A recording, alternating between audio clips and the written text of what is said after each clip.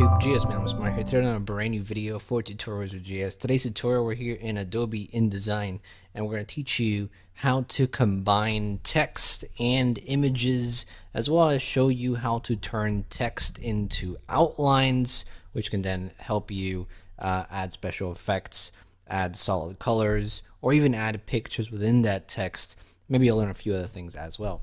So what I have, I'm going to go and paste something real quick. I just pasted some text that I had created before I even started recording. This is the type of font that I like, so I went ahead and picked this type of font. But if you want to make some text very easily, just head to the text tool here. Just go ahead and drag a box and then just type whatever you want. And you can obviously change the font here and you can change your size here.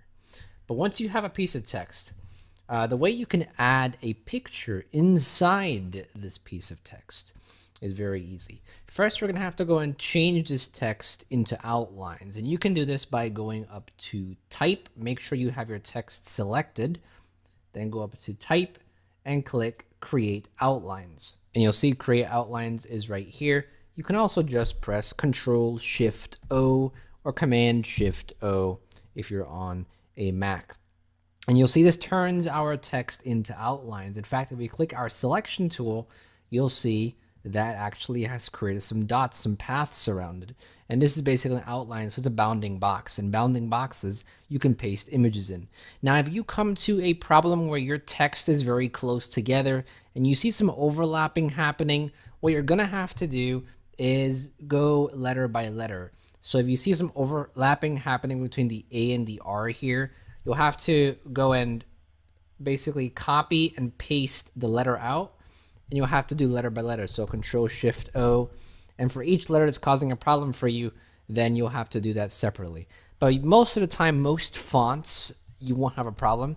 So you can just select the entire uh, piece of text. Control shift o will turn it into outlined text now with this outline text, you can do some pretty cool things. You can obviously go to your swatches and you can pick a different color here. Let's go ahead and zoom in real quick. And if we press Control Alt M, you can now give your text a drop shadow, inner shadow, lots of options here too. So this really opens the door to many possibilities. But if you want to add a picture, for example, we're gonna go ahead and grab a picture that I have here and just paste it in here. This is a character from Guild Wars 2, so it directly relates to the text. But if we go ahead and make this a bit bigger, like so, and make the actual image bigger as well.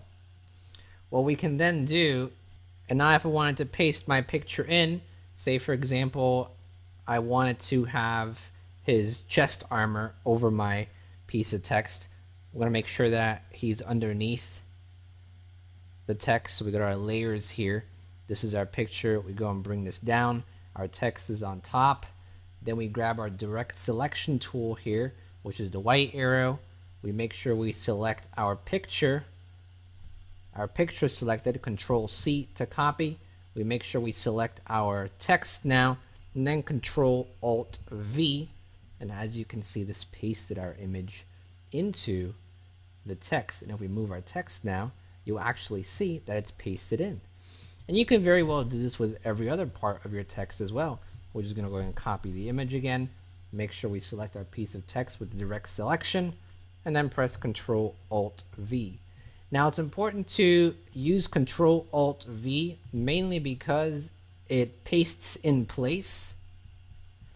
So if you just press Control V, you might paste a picture somewhere else, but Control Alt V pastes everything in place. So if your picture is here, you'll paste it right on top without moving anything. And as you can see, if we move this piece of text now, the picture is inside our text in a really cool way. Now this allows you to do several cool things. You can keep your text like this if you want, but say for example, I wanted to, gonna go and bring it back over, Control Z, bring it back over here and say for example